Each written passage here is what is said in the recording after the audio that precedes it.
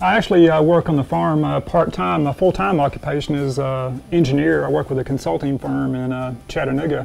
Being an engineer, I'm obviously uh, sensitive to uh, a lot of aspects about the tractor that um, are beneficial to me on the farm. I'm always thinking from an engineering point of view.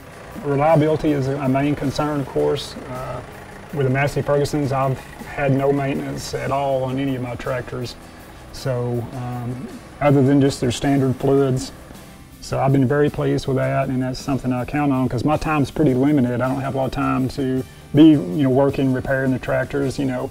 Uh, we perform all the service maintenance and make sure that's all kept up, but we don't like any surprise breakdowns and not have any problems with that so far. I really like uh, being an engineer also. I like the accessibility of all the uh, components, how easy it is to work on the tractor if you got to check your fluids and um, obviously the oil is very accessible right here on the sides, you know. Uh, I've also got a, a Kubota uh, M9000 tractor I use on the farm here some. Uh, but compared to the Masseys, it's, uh, it's a nightmare just to do your standard services. Uh, such a compact tractor.